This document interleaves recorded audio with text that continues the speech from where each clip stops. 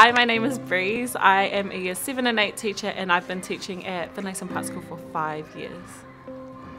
Kia ora, my name is Minzhen Li.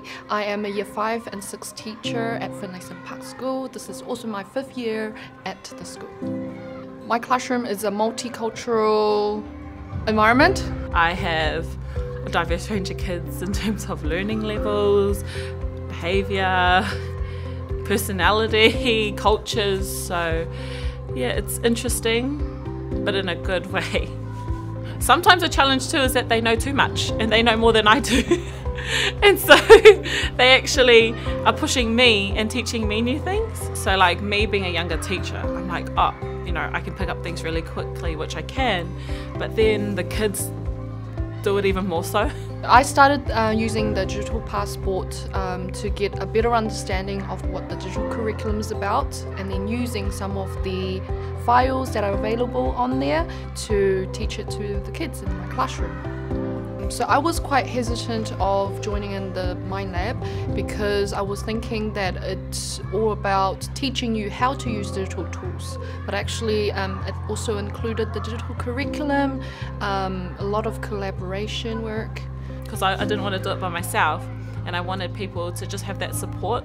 Obviously, not going to uni for five years and teaching, you're kind of like, can I handle the workload by myself? So we did the Mind Lab uh, course together as a group. Um, so there were four teachers in the group and we started off with the Zoom and because it was during the COVID um, time, it was all online and for our collaboration we also do our own Zoom meeting. What MindLab did for me is it helped me to understand different ways that I could approach the situation. We looked at different teaching methods, styles that could support our children who are less capable on digital devices.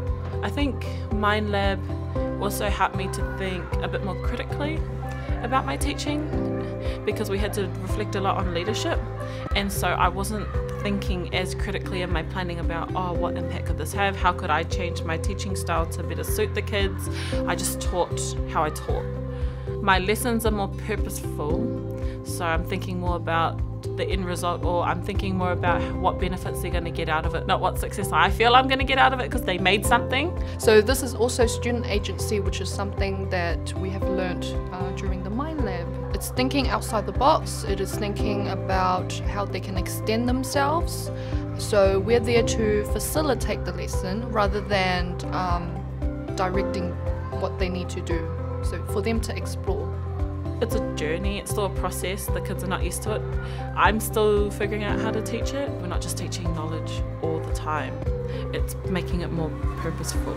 Even if I was talking to myself nine months ago, I would say just don't be afraid. It's okay. You're going to have the support that you need. So just push yourself, take a risk. Tell our kids to take risks every day, yet we don't do it ourselves. Whakapono ki a koe, believing in yourself and go for it just grateful for the experience, I guess. Um, happy we did it. We achieved something together.